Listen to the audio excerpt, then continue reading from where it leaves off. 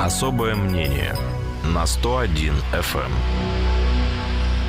В Кирове 12 часов и 4 минуты. Я, Владимир Сметанин, приветствую вас, наши слушатели, и приветствую в нашей студии юриста Яна Чеботарева. Ян Евгеньевич, добрый день, здравствуйте. Добрый день, добрый день, с прошедшими праздниками. А, да, с наступившим вас, в первую очередь, 2023 годом. И, кстати, согласно опроса, проведенного Всероссийским центром изучения общественного мнения, почти что 50% наших соотечественников надеются, что наступивший 23 год будет хорошим, удачным. Вы принадлежите, Ян Евгеньевич, к этой почти что половине участников исследования? Я заставляю себя верить каждый год, причем, что год наступающий будет гораздо лучше, чем год уходящий. Ну, это же традиция, да, готовить селедку под шубой, салат оливье, смотреть «Иронию судьбы» и «С легким паром» и надеяться на лучшее. Вот «Иронию судьбы» не смотрел, не смотрели? а остальное было все. Кстати, в этом году многие жалуются, что по телевизору было, было и посмотреть-то толком нечего. Вот даже люди старшего поколения, моей маме 62 года, приехал к ней в гости на Рождество, она говорит, такую туфту показывали, даже вот выключала. Не могу спорить, не смотрел телевизор. Я тоже не, я телевизор тоже не, не включал. Я тоже не смотрел, да. И бой курантов, собственно говоря, через интернет слушал. Но зато вот Чебурашка, да, вы слышали, лидер прям какой-то российского кинопроката за всю его историю. Очень странный фильм, на самом Посмотрели деле. уже? Ну, я тизер посмотрел. Угу. Ну, я тоже, да, вот отношусь к этому. Как-то трейлер, трейлер посмотрел. Качество, собственно говоря, угу. Не очень мультипликации меня устроило. Угу. Не очень качественно. По-моему, накануне публиковали, что уже успел фильм собрать в прокате 4,5 миллиарда ну, на безрыбье... Рублей, да, на безрыбье. Но мы понимаем, что российский кинопрокат в последнее время, конечно, не самые лучшие времена переживает. Но, тем не менее, «Аватар» вроде, собственно говоря, а, ну да, прокатывается. Да, да. Если говорить об итогах 2022 года, Ян Евгеньевич, по вашим ощущениям, для Кирова, для области в целом Кировской, как этот год прошел? Вот по вашим личным ощущениям, изменения в лучшую сторону, в худшую? Стали ли люди добрее, лучше, умнее, отзывчивее? Стали ли больше городские пейзажи вас радовать? Что-то вот такое, что, ну, то, что смотря появляется новое. Да? Смотря ведь чем сравнивать. Чушь, э, чушь, чушь, все про работу-то, да, про, ну, про дела конечно. все возможно. Ну, по большому счету, вот кончился 22 год, и слава богу. Угу. В данном случае здесь, конечно, вот я всем своим знакомым желаю, чтобы в 23 году событий, которыми так богат был 22 год, mm-hmm. было просто поменьше. Ну и качество их было немножко получше. Mm-hmm.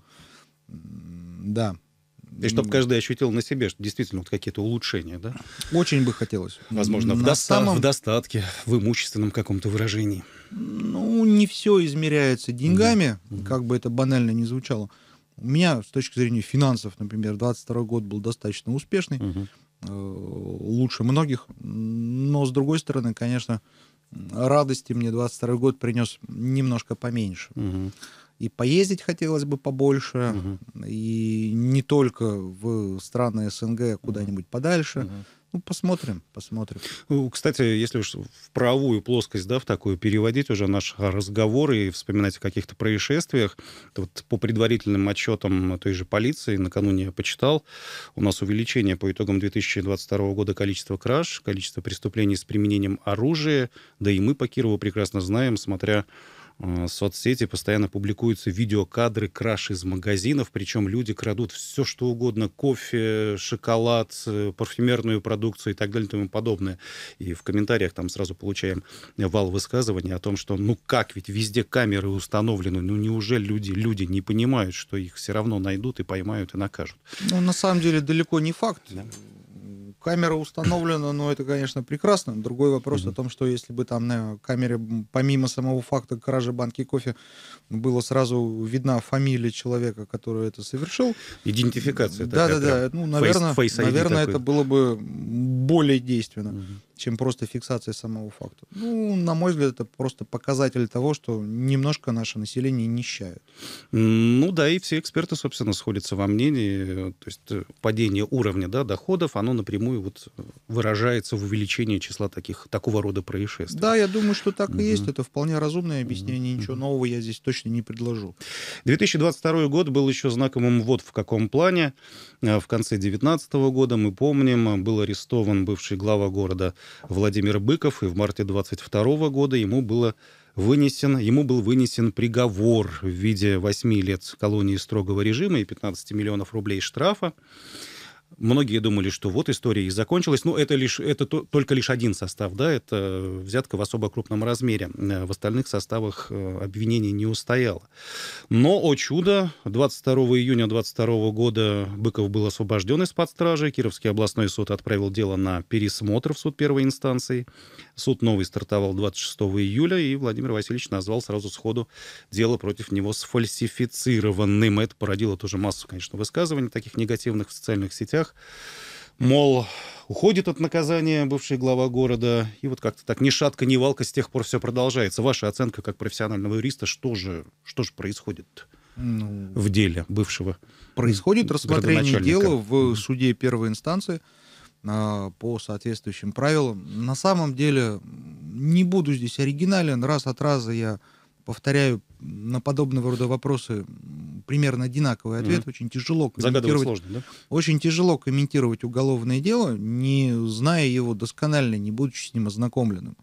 На месте стороны защиты, ну, я бы не испытывал каких-то радужных ожиданий от э, грядущего судебного процесса. Почему? Потому что отмена оправдательного приговора, ну, это всегда не очень хороший знак. Значит, и здесь э, есть над чем подумать в стороне защиты. То есть практика так складывается, да, что... Ну, практика что, разнонаправленная в, в данном случае, но тем не менее, ведь э, был отменен именно оправдательный приговор. Угу по ряду эпизодов. Ну, можно, да, повторить. Тут и мошенничество в особо ну, крупном да. размере, ну, да. и организация растраты денежных ну средств ну, в особо крупном размере, пособничество в мошенничестве и так далее. И угу. здесь можно сказать о том, что, ну, с уверенностью, что, ну, наверное, очевидно, можно считать, что в 23 году э, приговор э, суда первой инстанции состоится. Какой угу. он будет, никто не знает. Я более чем уверен, что даже судья, который рассматривает это дело, не знает этого пока, во всяком случае. По закону это так, угу. до удаления в совещательную комнату. Значит, и мы услышим, э, счел ли суд доказанным те эпизоды, э, которые инкриминируются Владимиру Васильевичу. И какова будет реакция защиты? Ну, если приговор будет обвинительным, можно mm. с уверенностью сказать, что будут жалобы. Если он будет оправдательным, тоже будут жалобы, только mm-hmm. с другой стороны. Mm-hmm. Поэтому здесь ну, могу единственное обратить внимание на что вот лично меня во всей этой ситуации и с господином Быковым, и с нашим бывшим главой администрации господином Шульгиным. Ну, чуть позже о нем, да? Ну да. Радует только одно на самом деле. Не сам факт привлечения таких достаточно высокопоставленных чиновников к какой-то ответственности, а то, что власть, как бы мы к ней ни относились и как бы не критиковали в каких-то частях, все-таки таким образом демонстрирует возможность и умение самоочищаться. Угу. И никакой пост высокий, либо маленький, значительный, либо малозначительный, не является абсолютной гарантией вседозволенности. Слушайте, вот как обыкновенный гражданин, не облечен никакими полномочиями, угу. слава богу, но меня это просто радует. Вот просто радует. И здесь, ну, я могу, конечно, как обыкновенный обыватель говорить, что дыма без огня не бывает, высказывать какие-то свои претензии, что господину Шульгину, что господину Быкову и так далее. Но тем не менее, как юрист, я считаю, что сам по себе процесс пока ведется без каких-то существенных нарушений. Во всяком случае, в паблик такую информацию не вбрасывают. Э, я уверен, что права и Владимира Васильевича, и господина Шульгина, угу. они будут соблюдаться, и они сумеют попытаться защититься достаточно эффективно, и в итоге состоится законное, справедливое, обоснованное решение. Угу. Ну, вот, кстати, сегодня СМИ написали о том, что очередной суд по Шульгину должен был состояться сегодня, но адвокаты не явились, как и сам, собственно, Шульгин не явился, ввиду того, что заболел, и, по-моему, на 19 января перенесено Ну, все мы люди, все болеют. Да. А, ну, там все-таки в случае с Шульгиным там дело-то другое, там полегче, там три года условно всего лишь. И несмотря на это, апелляция. Ну, опять же, ну, опять да? же приговор-то ведь не угу. устоялся. Угу и его пересматривают в настоящий момент точно так же. Э, и каково будет решение э, нынешнего процесса, опять же, ну, угадать достаточно проблематично. Странно ведет себя по сообщениям СМИ э, представители потерпевшего, угу. которыми являются администрация, администрация да, муниципальное образование, Кирова. город Киров. Да. Ну, как-то очень странно у меня складывается ощущение, что люди, представители, которые ходят в этот процесс, плохо вообще ориентируются в деле. Во всяком случае, просто кивать в сторону прокуратуры и говорить о том, что ну вот нас признали потерпевшими, поэтому мы потерпевшие, угу. ну это как-то, ну вот, вот как-то уж слишком без есть либо потерпели, либо нет. Нельзя быть немножко беременным, извините. Ну, да, да, да, нельзя быть э, не на все сто процентов, да, да, интересно, да. Почему чиновники наступают на одни и те же грабли? Или система им подсовывает эти одни и те же грабли постоянно? Ну как вот, вот я думаю, что любой разумный бы человек, в чьем окружении бы появился обвиняемый, подозреваемый, но он вел бы себя впредь, наверное, более как-то аккуратно. Ну, я вижу, я вижу здесь причину совершенно системную, к сожалению, но некоторым образом отрицательная селекция у нас просматривается, и чиновничество формируется за счет собственной массы. То есть, грубо говоря, вот есть армия чиновников, так. и их... Они сами себя рождают, что ли? Нет, они Или просто меняют э, название своих должностей, а. переезжают в другие регионы, угу. возможно, меняют кабинеты, но они в любом случае, вот эта вся огромная масса, она существует сама по себе. Вот как, без обид будет сказано, судейский корпус э, формируется в основном за счет представители этого же судейского корпуса. То есть достаточно закры... закрытая структура, да, да судейская. корпорация достаточно да. закрытая. Угу. Обычный среднестатистический судья значит, проходит путь от э, секретаря, помощника до непосредственно уже судьи, облеченного судебной властью. Угу. В редких, в редких случаях на пост судьи попадают представители адвокатуры, частно практикующих юристов. Это вообще уникальные вещи. Угу. Ну, иногда из каких-то других властных структур, из прокуратуры, из таможни, угу. еще откуда-то, угу. из приставов. Э, в основном все-таки судейский корпус сам генерирует кадры для себя. Вот то же самое и среди наших чиновников. Очень часто, в основном как раз, любой чиновник вышестоящего уровня проходит ступенчато, собственно говоря, свою карьерную лестницу от э, мелкого клерка ну, как вплоть там, до эксперта там... отдела, старшего да, эксперта, да, потом да, заместителя, да, да. заместителя заместителя и так далее. И так а далее. дальше уже там начальник отдела, угу. зам главы департамента, угу. глава департамента угу. и так далее и тому подобное. Здесь, конечно, на мой взгляд, ну, нужно как-то подумать над тем, как эту систему реформировать. Возможно, где-то более широко использовать какие-то конкурсные процедуры. Э, пытаться привлекать э, на знаковые какие-то должности людей не из системы, а из, например, там, из бизнеса, и просто желающих через э, систему кадрового отбора пропустить через сито. Может быть, это было бы эффективно. Ну, насчет бизнеса не знаю. Тут дискуссионная тема достаточно давно, она обсуждается. Успешному бизнесмену идти во власть Зачем? Ну, если, зря если, вот так, я если, знаю. если у него и так все, зря, в общем-то, зря, хорошо. Зря, зря. Я Нет? знаю массу Есть? примеров, когда успешные бизнесмены просто устав от э, однообразия, например, там, зарабатывания денег, уходят заниматься чем-то другим. Угу коммерсанты уходят в сельское хозяйство, становятся фермерами, причем достаточно успешными. Ну, фермеры тоже тоже бизнесмен. Ну, он, немножко, же тоже, он же тоже ну, выращивает продукцию другой. для того, чтобы ее продать. Ну, немножко другой. Немножко прибыль. другой. Mm. Ну, здесь насчет прибыльности я бы поспорил, mm-hmm. собственно говоря. Здесь большей частью это все-таки веление души, мне так представляется. Ну, точно так же я знаю случаи, когда достаточно успешные предприниматели уходят просто в мелкоремесленное, собственно говоря, производство. Угу. И сами что-то руками сами делают, руками да? что-то делают, да, у меня есть несколько забавных деревянных изделий, которые были изготовлены весьма крупным кировским предпринимателем, который просто вот плюнул на этот бизнес. И, и вы их храните как нечто греющее я, душу, Зачем? Да, я не храню, ими пользуюсь. А, пользуетесь. И вот, кстати, да, по поводу чиновничьей политики, которая сейчас у нас в городе наблюдается. Накануне Нового года мы встречались с главой администрации Вячеславом Симаковым в нашей студии, и он, в частности, заявил о том, что сейчас серьезно перелопачивает э, структуру администрации и прокуратуры, и контрольно-счетная палата внимательно э, следят за деятельностью подведомственных учреждений. И вот, по словам Вячеслава Николаевича, чуть ли не каждую неделю мы прощаемся с теми или иными руководителями, потому что он, вот, посмотрев пристально, убедился в том, что а чем занимаются люди? Да ничем не занимаются. Зачем структура? Зачем десятки людей в штате содержать, которые, дел... которые делают непонятно что? Вам нравится такой подход? Ну, отчасти, наверное, да. Значит, я здесь вижу некоторое лукавство со стороны нашего главы администрации. Так, в чем заключается? Ну, давайте так. Лукавство. Я, я могу пояснить. Угу. У нас, если мне не изменяет память, господин Симаков, он ведь тоже выходец из э, структур городской администрации. Не он ли возглавлял теруправление одного из районов? Первомайская. Ну да, а... поэтому, знаете, вот... До этого был главным тяжело... по транспорту в городе. Да-да-да, мне да. очень тяжело поверить, что в настоящий момент он сделал для себя прежде всего открытие о том, что достаточно большое количество его коллег занимаются, простите, только тем, что бумаги перекладывают. Угу. Значит, я считаю, что он, как минимум, сам, как выходец из этой системы, знал об этом достаточно давно. Некоторые Полномочий его, не было.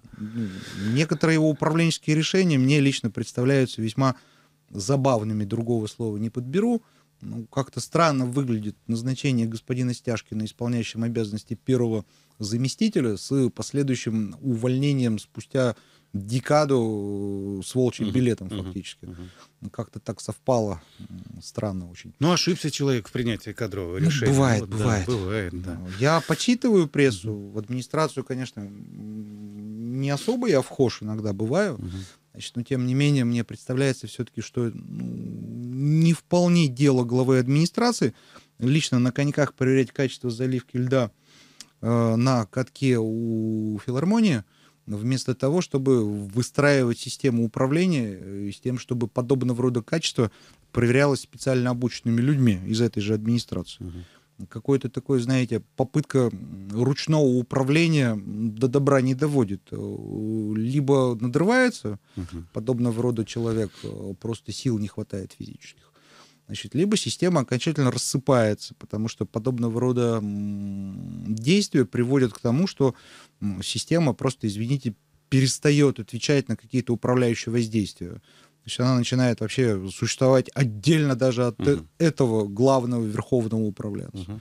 Ну, пока я готов простить господину Симакову подобного рода забавности. Я считаю, что все-таки некоторый кредит доверия, э, во всяком случае, от меня у него точно есть. Угу. Подождем. Подождем. Ну, на, этой, на этом тогда давайте сформируем какой-то перечень рекомендаций, советов главе администрации, что ли. То есть отходить от принципов ручного управления. Безусловно. Выстраивать систему, оттачивать Конечно. ее работоспособность. Конечно. Кстати, Конечно. подобные намеки уже неоднократно делал глава региона Александр Соколов. Пусть зам работает, говорит. Все правильно. Отдыхайте все правильно. Побольше. Все mm правильно. mm Глава администрации прежде всего должен выстраивать систему. А не бегать лично контролировать качество льда, либо качество уборки улиц и так далее. Ну, понятно, что как нормальный горожанин, двигаясь по улицам, по проспектам, mm можно обратить внимание на то, хорошо или плохо убираются у нас, собственно говоря, э, элементы дорожной сети, но в данном случае вот я, как обыкновенный человек, вижу о том, что отвратительно. И не могу сказать, что в нынешнем сезоне кардинальное улучшение какое-то произошло. Прорыв какой-то, да, был ну, сделан? Да. Угу. И то, что говорилось вот у нас в эфире, я слышал абсолютно несколько минут назад, и mm-hmm. то, что говорили мне мои сотрудники, в связи с теми морозами, которые были у нас, ну, определенный транспортный коллапс в части движения городского транспорта случился вдруг. Угу. Говорить о том, что подвело качество дизельного топлива, ну, это вообще очень странно. У нас дизельное топливо везде одинаковое, по ГОСТу должно быть во всяком ну, э, как нам Если, вчера опять по, же, по, возникает... сотрудник администрации, там что-то ну, летняя, в общем, солярка была, насколько я понимаю. Ну, тогда это, простите, а, ну, фактически... Залито в бензо... Головотяпство, да. как минимум, если не сказать хуже. Mm-hmm. У нас зима так-то, причем здесь летняя солярка. И вообще, когда говоря. тема с соляркой тут возникла, на днях вспомнилось опять-таки вот дело, да, связанное Дымящие с Владимиром Васильевичем. Да, топливо. Да, да, да. То есть да, такое а, ощущение, что мы опять туда же наступили. Это, да. может быть, вырабатывают старые mm-hmm. запасы, конечно, я не исключаю и такой вариант. Mm-hmm.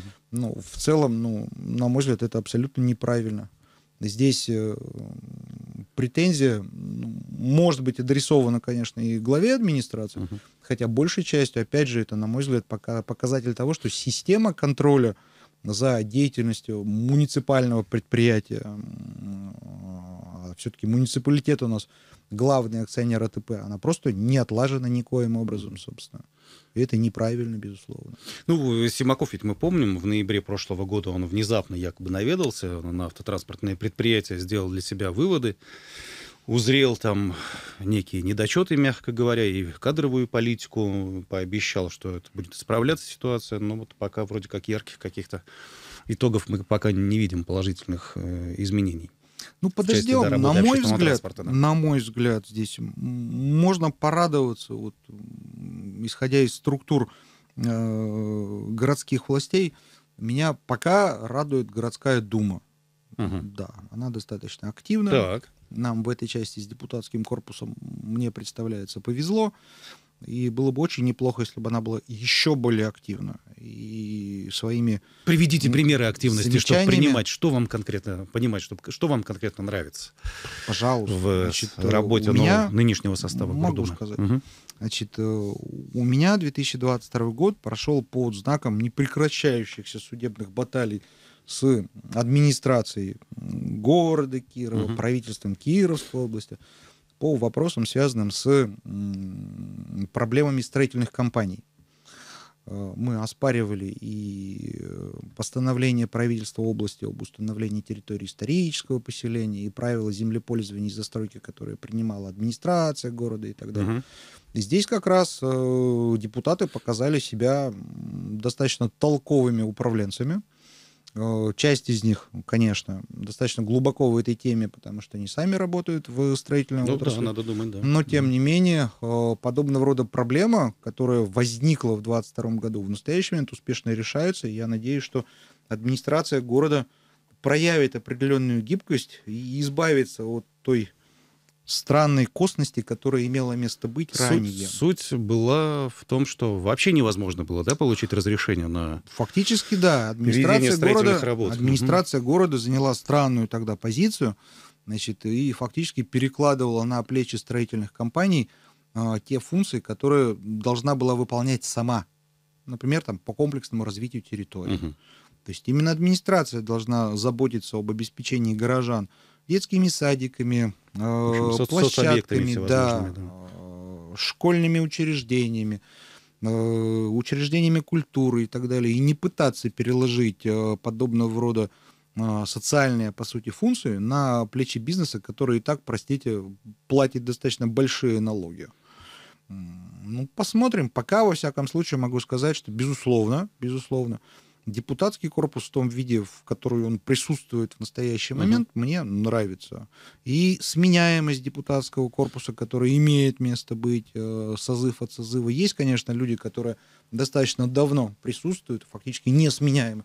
Но, на мой взгляд, это показатель того доверия, которое горожане, собственно, э, и оказывают таким депутатам. Uh-huh. А вы на выборы-то ходили, Ян Евгеньевич, в сентябре я, прошлого года? Я э, на Новый выборы, седьмой состав, да, у нас городского я парламента. Я на выборы ходил, сразу скажу, но голосовал я не по всем вопросам. Какой-то бюллетень Из, я просто изби, Избирательно. Ну угу, да. Угу, угу. Не буду рассказывать. Ну, за, за Гордуму-то голосовали? За Гордуму голосовали. Голосовали. А, ну, там достаточно интересно, да, и, ну, э, и новые лица есть, да, в нашей городской думе, и вот мы пытаемся сейчас, сейчас их приглашать в нашу передачу для того, чтобы поучаствовать. И много молодых, кстати, пришло туда, коммунисты в первую очередь, ну, вы знаете, что там самые молодые э, наши городские парламентарии. А, кстати, да, что по поводу областной власти, если о ней говорить, насколько вам тоже ведь выбирали мы нового губернатора в сентябре. Насколько вам нравится работа нового главы региона, его информационная политика, эти его еженедельные понедельничные планерки, да, на которых зачастую звучат такие громкие, достаточно резкие заявления, в том числе об увольнениях чиновников. Вот в этот понедельник, например, Александр Валентинович назвал управляющие компании лоботрясами. Ну, ну, не все, конечно, но вот, да, есть, говорит, такие лоботрясы. Есть. Правду и, говорить легко и приятно. Да, и госжилинспекция должна работать в том направлении, чтобы лишать их лицензии. У нас якобы уже прям задача поставлена к весне этого года на две трети сократить число управляющих компаний. Смело.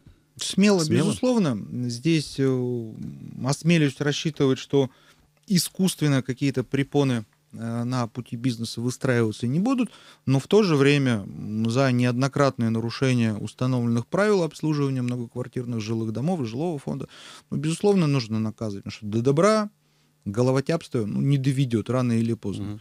И, естественно, если есть какая-то частная управляющая компания, которая соблюдает нормы, которая адекватно реагирует на критику, вовремя чистит снег во дворах, Мгм. к примеру, значит, заботится об исправности коммуникации и прочее. Ну, честь им и хвала, пусть работают на рынке. Если есть, простите, м, какая-то маленькая фирмочка, которая занимается только тем, что стрижет купоны и собирает с граждан деньги, при этом стараясь поменьше услуг им оказывать, ну, конечно, от таких нужно Ну, избавляться. не секрет же, что у нас полно таких организаций, у которых только там директор и бухгалтер, и, собственно, даже в штате-то никого нет, ни дворников, ни слесарей, ни прочих там сотрудников. Да. Ну, это беда достаточно известная. Мгм. Нет у нас законодательного закрепления обязанности управляющей компании иметь в штате своих, а не наемных, например, каких-то специалистов.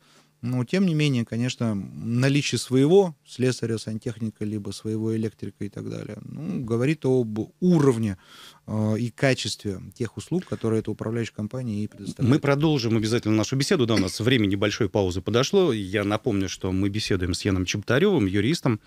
Вернемся через минуту.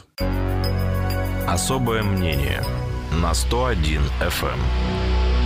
Особое мнение юриста Яна Чеботарева в нашем эфире. Еще раз добрый день. Ну вот в продолжении вашей оценки деятельности уже региональной власти, информационная открытость, заявления Александра Соколова. Как на это все взираете в последние месяцы? И, может быть, за что-то поблагодарить, может быть, его хотели? Ну, за кадровые решения Мгм. готов ему сказать спасибо, безусловно. Во всяком случае, некоторая чистка э, среди правительства Кировской области, которая имела место быть с приходом господина Соколова, на Мгм. мой взгляд, только на пользу правительству пойдет. Ну, многие считают, что еще будет продолжаться. Еще мы не увидели полное, Ну, полное обновление команды. Не, не все же сразу, Мгм, мгм. не все же сразу. Но тем не менее тренд уже более-менее ясен, и этот тренд можно только приветствовать. Очень интересное решение. Я не знаю, правда, это постоянное будет, э, либо это временные события. У нас же сейчас э, фактически господин Соколов и правительство еще воз- Да, возглавляет. одновременно да, является председателем. И, на мой взгляд, вот некоторое такое единоначалие, оно ну, достаточно интересно выглядит и э, будет забавно посмотреть, к чему это приведет. Во всяком случае, пока, ну, я отдаю Но у нас же был должное. такой, у нас же был такой. Я да, понимаю, да, я да. отдаю должное смелости нашего губернатора, который не боится впрячься в подобного рода телегу и тащить этот ВОЗ. Смелое решение, достойное абсолютно, мужественное. Могу только пожелать успехов, безусловно. Что касается информационной открытости, ну, по сравнению с э, предыдущими нашими руководителями, безусловно, безусловно, очень интересно и приятно наблюдать за э, той степенью, которую демонстрирует э, правительство в настоящий момент. Хотя есть, на мой взгляд, еще куда стремиться. Например? Слушайте, вот пока я лично считаю, что абсолютная информационная открытость, очень интересное общение имело место быть во времена Никиты Юрьевича Белова. Мгм. Значит, может быть, это было связано во многом с отдельными личностями. Я очень приятно всегда вспоминаю господина Веснина, с Мгм. которым было приятно пообщаться. Который И- ныне является депутатом Заксобрания Кировской ну области. да, у- очень редко встречается человек настолько умный, образованный и умеющий владеть русским языком. Очень приятно. Ну, во всяком случае, я думаю, что тут опять же тренд, который демонстрирует э, правительство области в настоящий момент, ну, он положителен. Он положителен. Мгм. Здесь э, рассчитываю, что с течением времени у нас действительно будет абсолютно открытый информационный обмен среди горожанами, среди жителями Кировской области, среди правительства будут появляться какие-то новые возможности э, Ну, у, нас же, по- у, нас, у нас же по закону обязали вроде недавно, да, всевозможные государственные муниципальные органы иметь свои паблики в социальной сети. Ну, Да. паблик это хорошо. Другой вопрос о том, что помимо э, просто возможности публиковать в сети интернет, например, какие-то информационные сообщения Мгм. от имени правительства недостаточно. Э, На мой взгляд, э, очень важна какая-то обратная связь, э, реакция со стороны населения и, соответственно, реакция на эти обращения, которые поступают через этот паблик. Мгм. Мне, во всяком случае, есть с чем сравнивать. Я считаю, что не к ночи, конечно, будет помянут, но, тем не менее, есть такая страна Европейского Союза, Эстония, Мгм. где вот подобного рода информационный обмен через сеть интернет выстроен настолько умело и настолько просто и понятно, что нет необходимости посещать какие-то официальные учреждения, заполнять какие-то бумаги, анкеты и так далее. Все делается достаточно элементарно э, через сеть интернет с помощью ID-карты и все. Mm. То есть можно сказать, что жизнь человека полностью управляется в смартфоне, не отходя в, от в компьютере гаджета, и так далее. То есть угу. человек фактически избавлен от необходимости стоять в каких-то очередях, выпрашивать какие-то, собственно говоря, угу. разрешительные документы наметки подобного рода процессов в Российской Федерации, они есть, причем достаточно давно, эти же госуслуги, угу. но, тем не менее, не до конца пока еще. Ну, есть, конечно, у нас проблемы, которые поважнее, чем подобного рода выстраивание системы, угу. но, тем не менее, опять же, какое-то движение просматривается, это хорошо. Вы, Ян Евгеньевич, сказали, ну и говорили ранее, я прекрасно знаю, вы много общаетесь и работаете с предпринимателями. Вот это еще по поводу тех решений, которые приняты у нас новой региональной властью. Э, упрощенная система налогообложения, да, она у нас продлена. И вот сейчас ставится задача в ближайшее время якобы вот вернуть в регион тех предпринимателей, которые у нас перерегистрировались в других субъектах. Насколько реально? За, зачем? Для чего? в общем, как оцениваете ну, это за, направление зачем, Зачем да? это, конечно, понятно. Угу. Тут никакой сложности не возникает. Ну, люди, чтобы налоги платили, конечно, да, люди это новая здесь, нефть. Да. Соответственно, чем больше налогоплательщиков, тем богаче бюджет, угу. и, соответственно, легче работать. С другой стороны, без каких-то качественных экономических обоснований принять подобного рода управленческие решения просто вот по щелчку пальцев невозможно. Почему предприниматели побежали в свое время из э, Кировской области? Во многом это было связано с неправильной э, фискальной политикой, которую осуществляло бывшее, бывшее, подчеркну, угу. руководство управления Федеральной налоговой службы. Здесь тренд был переломлен, и в настоящий момент управление ФНС, Кировская налоговая работают ну, на, удиви, на удивление лояльно. Значит, э, в то же время, опять же, обращу внимание, что в ряде регионов были созданы приятные достаточно налоговые условия, пониженные ставки налогов по упрощенной налоговой uh-huh, системе uh-huh. по ОСН. 1%, 2% и прочее. Здесь, конечно, есть над чем подумать, и нашим законодателям предложить какие-то послабления а, при, опять же, контроле правильности э, использования этих льгот, ну, было бы не лишним абсолютно не лишним. У нас бы появлялись и новые какие-то бизнесы, и, возможно, а, предприниматели, которые прописаны, да, ключевое слово, прописаны uh-huh. на территории сопредельных регионов, каких-то отдаленных регионов Российской Федерации, будут менять свою регистрацию и возвращаться к родным пенатам. Смешно на самом деле работать в, и жить в городе Кирове и числиться, ну, не знаю, где-нибудь там в Удмуртии, либо еще где-то. Ну, и бывают там примеры да, за 3-9 земель, что называется, да, ну, регистри... регистрируются, да, да предприниматели. И в Чечне, собственно говоря. А, пару минут у нас есть, как-то от темы бизнеса не хочется уходить. А как вообще, на ваш взгляд, вот в наше непростое, как принято говорить, трудное время, открывать бизнес в Кирове, в Кировской области, заниматься им успешно, реально? Ну, а почему при, нет? При, при каких условиях? То есть, а по большому нет? счету, ничего и не изменилось. Пожалуйста, если есть у тебя Слушайте, в Желание, этой части да. Э, Российская Федерация достаточно лояльное государство к организации каких-то бизнес-процессов. Угу. Здесь, конечно, может быть, имело бы смысл продумать какие-то льготы для начинающих предпринимателей, пониженные, опять же, налоговые ставки, более упрощенная налоговая отчетность. Чтобы дать расправить крылья. Ну да, ну да, ну да, ну да, ну да. Значит, э, я думаю, что вот, вот продумать подобного рода систему было бы не лишним. В то же время те налоги, которые платят уже предприятия, которые стоят достаточно крепко на ногах, я не могу сказать, что они чрезмерно завышены и, и прочее. Но здесь у нас достаточно большое количество льгот. Конечно, если есть какой-то мега крупный бизнес, uh-huh. ну, естественно, он платит больше, чем что-то мелкое. Но в то же время тренд, вот я лично как юрист, который занимается налоговыми консультациями, на обеление доходов, угу. он прослеживается на протяжении уже нескольких налоговых периодов. Это можно только приветствовать. Положительно, да? Ну, безусловно, безусловно. Угу. Люди начинают, обыкновенные граждане, понимать о том, что им достаточно выгодно получать белую заработную плату, чем чуть побольше, но серыми, черными, какими угодно схемами. И получать, возможно, там потом кучу всевозможных проблем, проверок. Точно, точно, абсолютно точно, угу. абсолютно точно. Благодарю вас за этот разговор. Э, завершается наша беседа с юристом Яном Чеботаревым. Еще раз с наступившим Новым годом. Спасибо. Да. Вас также всех. А, надеемся все-таки, да, вот как вот те 50% участников опроса на то, что год будет удачным, хорошим. Ну, посмотрим, живем и увидим, что называется. Держу пальцы. Да, скрещиваем пальцы. Спасибо, всего доброго. До свидания. Особое мнение на 101 FM.